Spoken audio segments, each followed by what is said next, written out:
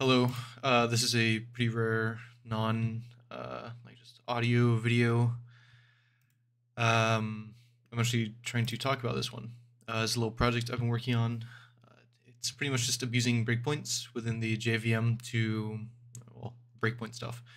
Uh, works at a very basic instruction level.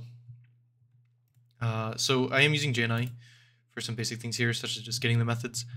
Uh, but beyond that, this is pretty abstract and it should work on any uh, distribution of the JVM. It's pretty cool. Uh, I do have some quick samples here. So for example, uh, here's my test module. I am just loading my own DLL through here. Uh, you can load your module however you want, you know, injection, whatever. Probably use a JNI agent as well if you wanted. Uh, but I do have this pretty simple method here. Mean, you can view the source code. You can see it's just like six instructions here.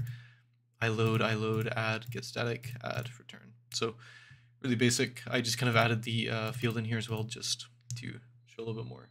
So let's uh, take a small look at this. So I do just kind of display all the bytecode here. Uh, pretty simple. But then I do have capability of actually setting breakpoints on some of this. And I'll show what that looks like uh, just a little bit. So the breakpoint stuff, it's pretty interesting uh, the breakpoint setup, and this will all be open source. Um, I don't know when, once I clean this project up and make it look a little bit better.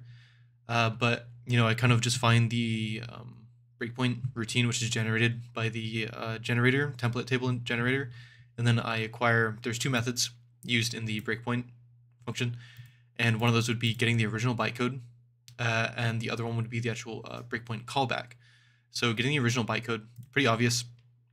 It um, gets the original bytecode that was at the uh, you know breakpointed instruction, and then once the breakpoint callback is finished, then it uh, executes that original bytecode.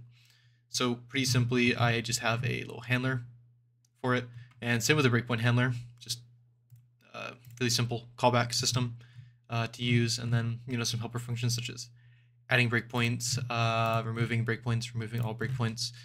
Pretty simple overall. So I'll show you what it looks like in action. Um, this current setup I have right here, it's placing a breakpoint on the final instruction of simple add, which would be the return instruction or OXAC.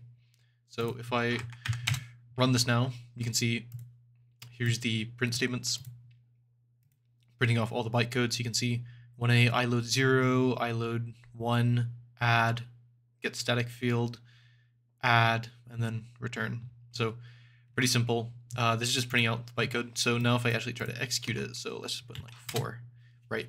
You get uh, the breakpoint hit. So you can see the top of the stack at the return was 4, 4. and you can see uh, the Java program down here printing out uh, the result, which is 4, 4 as well. So pretty cool, and you know I can keep doing it. Oops. So yeah, keep doing it pretty simple. And then, you know, I can press home, I can remove the breakpoints, and there you go, no more breakpoints. Uh, pretty cool stuff. Um, so you can also change uh, any info on here as well. So since I know this is the return breakpoint, I can just do something like this.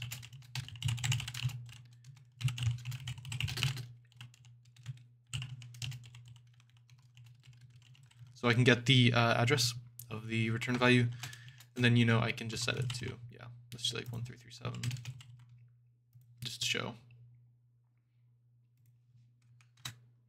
So now if I, you know, input anything, doesn't matter what, it'll always give you uh, 1337. So there's a lot you can do with this. Let's look at, uh, for example, the add instruction. So that would be um, 2. So now this is going to be the add, and then we can just loop through this and print out uh, the operands of the add.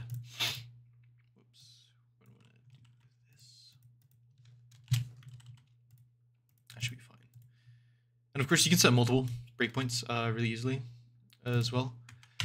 So yeah, like that. So you can see it's adding 32 and 8 together uh, on this add breakpoint. And of course, that would be from whoops, next int, which is obviously the input, as well as the just static integer 8.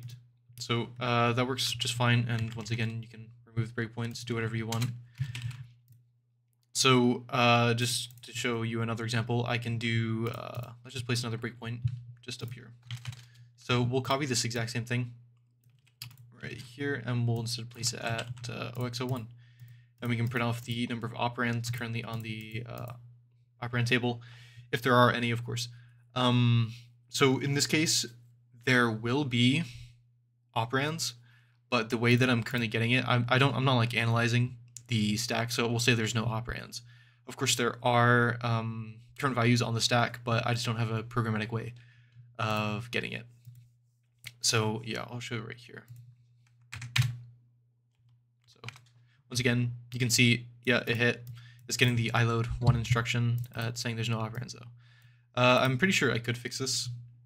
It's pretty simple how it works, but analyzing uh, in runtime how big the operand stack is at that I haven't looked into too much yet.